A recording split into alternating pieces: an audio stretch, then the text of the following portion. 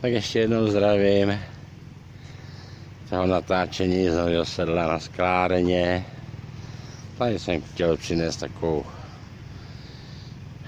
věc, že tady postavili a stavějí nějakou halu.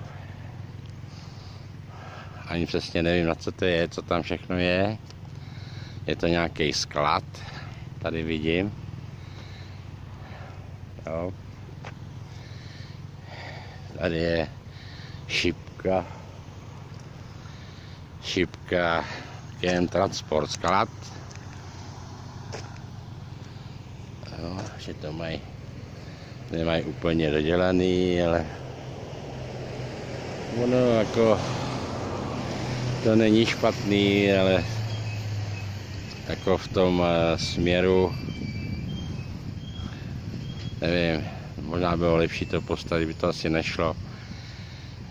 Tady z jihu na sever, protože to zabírá celý pohled na to krásný sklárnu. Sedlo, i když to pořád není na pohled hezky. Hoď jsme tady vyrůstali, tady postavili taky něco.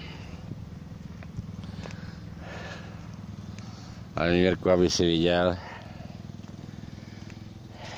tady dláždí chodníky, jako všude. Mají kšef asi z Liaporu.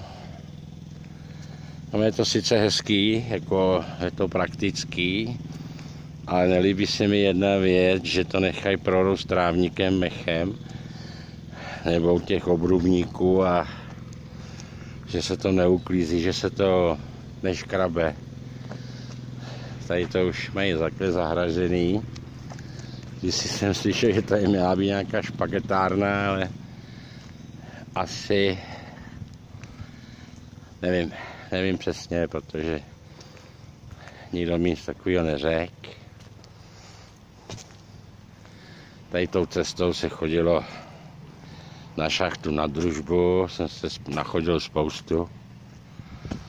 Ale zase výhoda byla ty jídelny, ta jídelna, jsem si mohl zajít i vlastní volnu. Se hradilo z fondu, tak to bylo právě jako výhoda. Vařili dobře. Ne vždycky, pak se to tam, pak se změnili kuchařky jako dnes. Než jsem šel, když jsem šel do důchodu Jiřího, tak tam vařili krásně, jako to bylo chutný všechno kachnu a mohli jsme si vybrat cokoliv. A pak jsem si chtěl zkusit jako v důchodu dělat kartu a ta drahota se už ani nevyplatila tam prostě.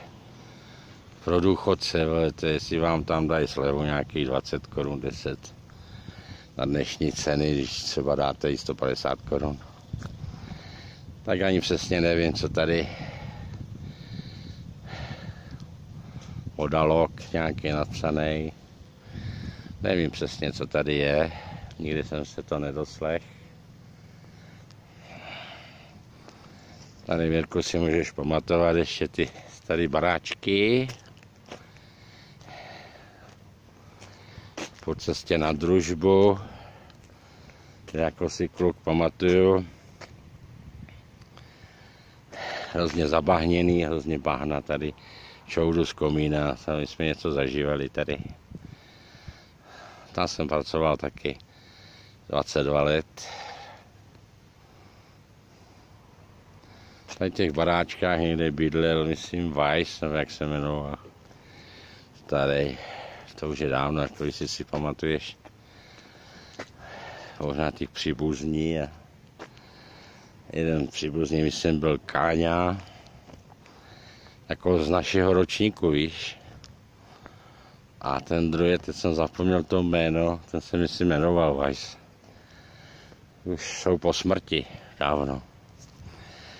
Tak já si tady sednu na lavičku, tam si žvárou předražený. Tady bývalo to hřiště právě na sklárně. Říkám, já už jsem to tady bral a pamatuju si zbytky převlikáren tady v těch místech, jak stojí ten strom a to už byly jenom zbytky. Byly tam kachlíky od koupelen a tak jsem chtěl vidět, kdyby někdo našel nějakou dobovou fotku, kdy to bylo opravdu ještě v provozu, když se tady hrál fotbal jako a tady byla tribuna. Já už jako malý kluk to už bylo rozpadlý, jo. Tady udělali takový opičí dráhy, nikdo tady necvičí, to udělali všude. Určitě evropské dotace. Tady ještě máš pohled na tu sklárnu, na ty komín a tu sklárenskou ulici. Já bydlel na 129. jako malý kluk a tady to máme do Chranišova, tak já se budu loučit, už toho bylo dost. Tady byly ty převlíkárny. A už si pamatuju jenom zbytky, jinak to tady bylo škvárou, že je vysypaný. Trochu to bylo jakoby vyvýšený než teďka.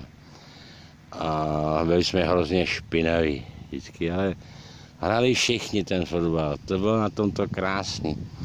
Jestli to byl cigán, jestli to byl Němec, Maďar, starý, mladý, děcka s tím koženým míčem. To si pamatuju, jako, to si člověk nemůže zap, zap, to, zapomnět na to.